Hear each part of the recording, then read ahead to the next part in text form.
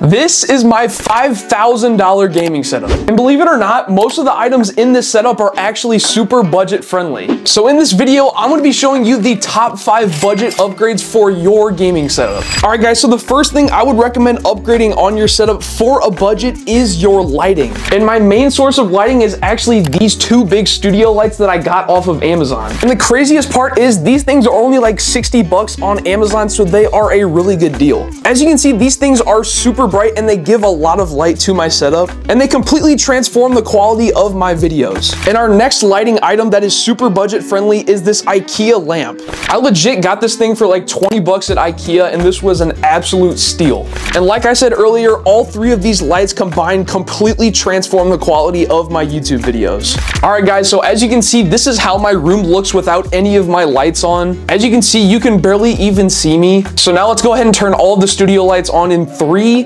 two, one. And just like that, we have completely transformed our room. And the craziest part about all this equipment is, is that it was only $80. So if you guys wanna try to be a content creator like me, make sure to pick up some of the equipment that I listed because this will help you with your videos a lot. But enough of the lighting, let's go ahead and move on to the next budget option, which is the audio. And if you're like me and you're always struggling to find a budget option for your audio setup, you're gonna want one of these. All right guys, so this is the PD200X microphone and the audio interface from a company called Maono. So I unboxed these two products in one of my last videos and I decided that I would give you guys a quick review because I was really surprised by the quality on these things. And guys, the craziest part about this audio setup is that the mic is only about $100 and the audio interface is only about 60. And to put that in perspective, this is my mic and this is about $200. And this is my audio interface down here and this was about like 200. So basically at about like $200 cheaper, you're getting the same exact thing, just a little bit less in quality. But then again, both of these items right here are not very budget friendly and they're pretty professional as opposed to these which have just a little less audio quality overall and it's way way cheaper. So for the mic itself you can either connect it through an XLR cable into an audio interface or you can use the USB option and plug it straight into your source. As you can see there's also a ton of options on top of the mic such as a mute button and a little dial to adjust your volume and I also chose the white colorway to match the rest of my desk but you can also get it in black. And as far as the audio interface goes you have a lot of more options to play around with right here. Right here, you have your output volume dial. And then at the bottom, you have like a bunch of filters and a bunch of soundboard options down here. For example, you have like a noise reduction button right here. And then you also have some soundboard buttons right here. You can also adjust your mic gain, which adjusts like the mic quality of your mic. And then you have a couple more dials on the side to adjust like all the other stuff plugged into the audio interface. And I legit just use this mic setup for my MacBook that I usually have right there. So if you have a laptop and you want an audio setup, I would highly suggest getting this audio setup as well. But yeah, overall, I was super impressed by the quality of these products. So if you guys haven't already, make sure to pick them up. I'm gonna have the link to these products down in the description below if you wanna pick one up for yourself. But again, that was just one of the other options for your budget setup. So let's go ahead and move on to the next budget part of your setup, which is gonna be RGB. All right, next up guys, we have RGB. In my opinion, RGB might be one of the most important things that you put in your setup. As you can see, I have quite a few RGB items in my gaming setup around my room, but the main RGB lights that I wanna highlight are lights by Govee. I'm not sponsored by Govee or anything, but once I got my first Govee RGB lights, I've never gone back. As you can see, we have these two light bars by Govee mounted on the back of my monitor. These lights create a really nice backglow onto my wall. And the craziest thing was I only got these things for like $40, so this was definitely worth it. And the next budget RGB item that I want to highlight are my LED strips. So I recently put these up in one of my transformation videos, and honestly, this might be one of the best things I've added. I actually had the same exact strips in my other room too, because they are just so good. They have a bunch of styles to choose from as far as colors go, and honestly, it's just super convenient.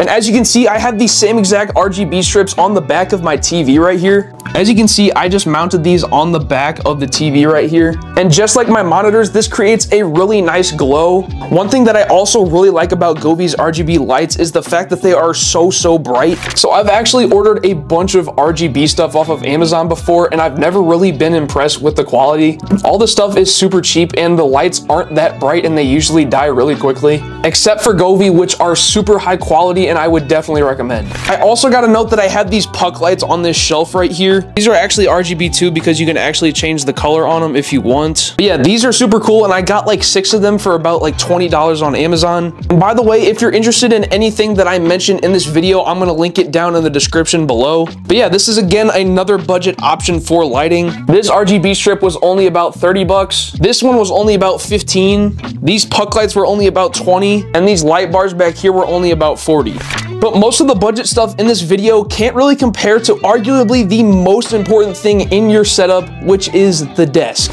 This one right here is an IKEA desk. I'm not really sure what the name of it is, but I'll make sure to link it down in the description. This right here was only about $100, and honestly, this might be one of the best upgrades that I've ever made. Basically, I just had literally no room in my old setup, so I decided to get a brand new desk. And this enabled me to put a lot more stuff in my setup and I think it looks absolutely amazing now. This thing was super easy to set up. The only thing I had to do was just install the legs on the bottom right there. This thing is also super light, so I would definitely recommend this thing. This other desk is from a brand called Sikaic that actually sent me this desk out for free. Now this desk is a little bit more on the pricey side. I believe this thing was about $250. But again, I didn't have to pay for any of it, so thank you so much Sikaic for sending this out to me. But yeah, if you guys are interested, going to link this desk in the description down below. I know it's not really budget, but if you guys are interested, I'll still leave it in the description below. As you can see, it's got like three shelves up here and then a pegboard underneath. And then it's got like a pouch over here, which I keep all of my cables in to keep it kind of organized. It's also got like a shelf over here and it's got a pull out keyboard tray right there. This thing was a little harder to set up. This probably took me about two hours to build in total. But overall, I really like how this turned out and I think this fills the space perfectly. And then also, I know this really isn't a desk, but I have this IKEA shelf up here too. This thing was only like 40 bucks, and as you can see, this thing is absolutely humongous. So if you guys are looking for some budget furniture or shelves or anything, I would highly recommend going to IKEA. In total, both of these were only like $160, and these are probably the best part of my setup. And yeah, this thing was super easy to install, so I would definitely recommend it.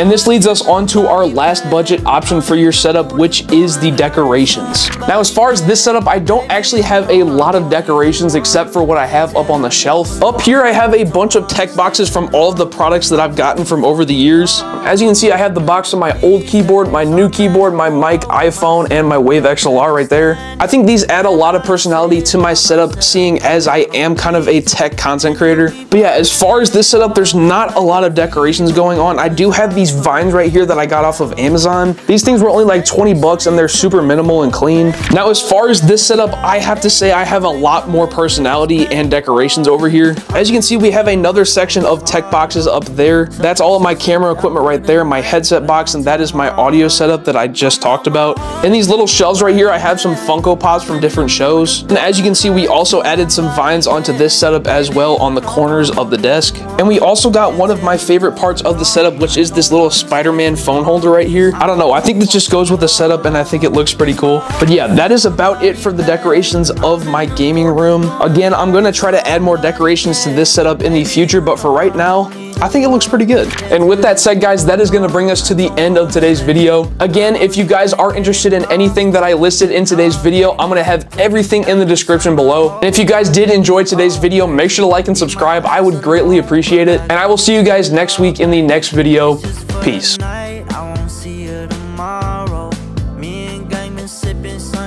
for these sorrows bitch, I won't borrow. My last made me a mess and left me hollow